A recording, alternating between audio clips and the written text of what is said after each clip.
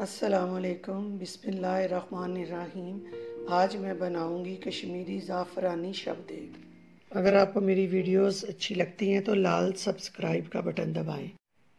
बराबर में ये जो बेल का आइकॉन है, इसको दबाने से आपको मेरी रेसिपी फ्री में देखने को मिलेगी। ज़ाफ़रानी शबदेग बनाने के लिए मैं तीन पाव बकरे का गोश्त लूँगी, आधा किलो शलजम लूँगी छोटे साइज़ के। इसको कांटे के साथ अच्छी तरह चौक कर लूँगी।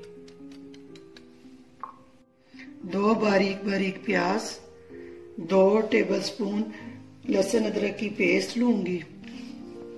दो चुटकी जाफरान, नमक, मिर्च, हल्दी, गरम मसाला, काली मिर्च हसबे जायका डाल लेंगे।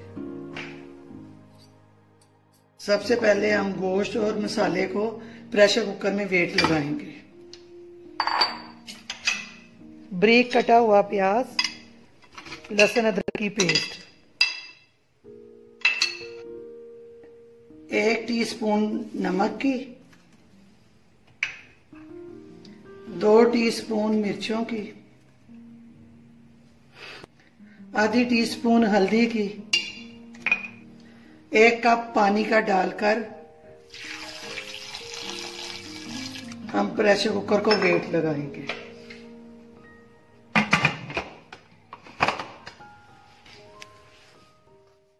मिनट हो गया वेट को अब हम इसको खोलेंगे।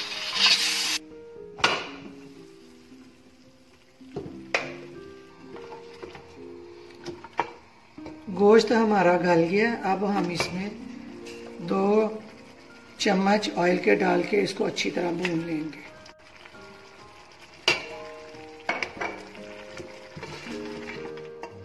जब तक हमारा गोश्त भूनता है, तब तक हम ऑयल डालकर शलजम फ्राई कर लेंगे।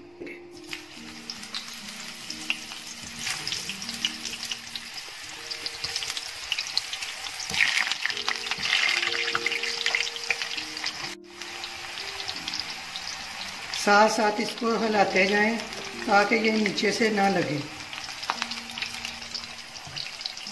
शलजम फ्राई हो गए हैं, अब हम इसको बाउल में निकाल लेंगे।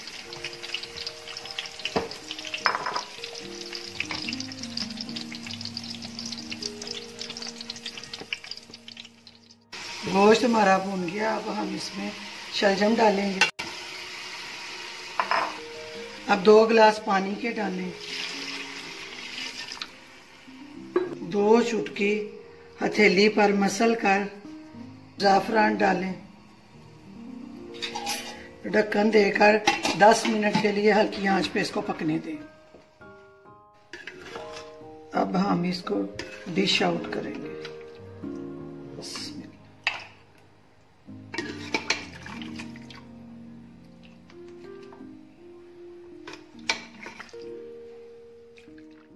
जी मज़ेदार ज़ाफ़रानी शब्द एक तैयार है।